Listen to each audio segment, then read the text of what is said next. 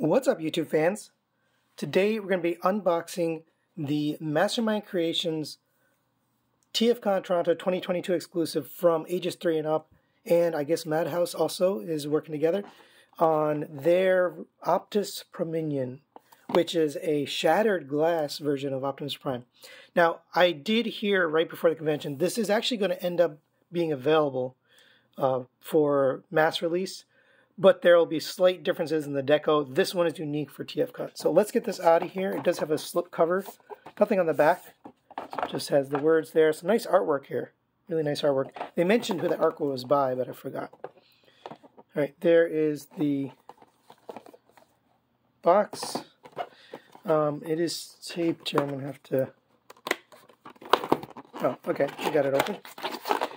And again, I mentioned this in my previous unboxing, but I will have to uh, excuse my lighting and excuse the, the setup I have here because I'm not in my normal normal place. So you do get the collector's card. Let's take a look at this. By the way, this is going to my friend Dr. Diecast. He loves shattered glass.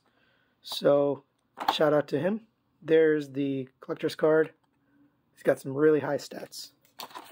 There's the instruction booklet. They actually changed it for this particular release because you can see they've got the on the cover. The instructions are the same. I did review the original Optus Pexis, so you can check out their review if you're interested. That's what's new. Dang, look at that. That's pretty awesome. So this axe is new. These guns are the same as before. Uh, this looks new, so I'll have to check that out. These are the same as before, although you didn't always get them there were some releases of Optus Pexis that didn't include these. Uh, but here are the heads. You get two heads. Now, one is a... Here, let's get this out of here because we're going to want to look at this. And hopefully I can get this out of here without hurting myself. Fortunately, I don't have a knife with me. I'm going to have to rip this bag. Well, let's get this open first then. And this is also taped. And this is what happens when you're doing a review away from home without camera and without the ability to edit anything. you guys get to see all of my raw footage here. So let's get him set up here. Looking pretty good. Look at those colors. You got the purple. You do have a nice shattered piece of glass right there. Got the bullet holes. I believe this deco is going to be different on the mass release. There's the legs. Sorry about my camera. It's not the best. Oh, I cut myself. Hey, I'm Pig for Life. I cut myself opening the packaging. All right, here you go. Here's the back. That's inside joke for people if you don't know what that means. Go watch Pig for Life's channel. He likes to draw blood, so I finally did it on my channel. Oops. Don't fall down. All right, there we go. He is stable. I just didn't have him set up right. All right, I got. How am I going to get this open? I'm going to take this off camera. Now, I have previously damaged stuff trying to open it on camera, so I'm doing it off camera. But I can't edit this out because I have my editing software here, so look at that.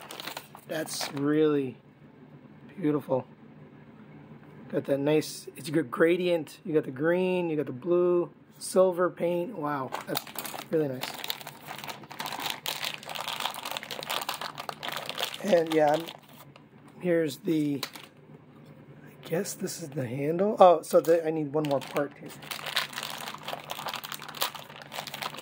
Yeah, here you go. So how does this go together? I'd imagine this goes into here, and then this goes into here. Yeah, Look at that thing. Dang. I'm just going to put in his hand for now while I get the other accessories out. So you have something to look at while I'm fiddling behind the camera here. And yeah, this is just an unboxing. I will do a full review on this guy later. Um, after we leave TFCon and after I get home and have my regular camera and setup, it'll be a lot better for you guys see it more clearly, and you can also not have to deal with me opening packaging in front of you. So again, I have previously damaged things opening them like this on camera, so I'm going to try to be careful. Especially since I'm giving this to my buddy. Here's the alternate face. So if you like the unmasked face look, you can have this. That's pretty cool. I'm not going to put it on right now. Merely just wanted to show you guys. And this one looks really cool. I kind of like this. But this is the original. Looks like the original head. I don't know why they do this. It, Mastermind and Fans Hobby, they, they pack it up so tight. Here's the, looks like the original head. It's in, it's in blue, so if you prefer this darker bluish color, it doesn't match the purple, but um, really neat, really cool.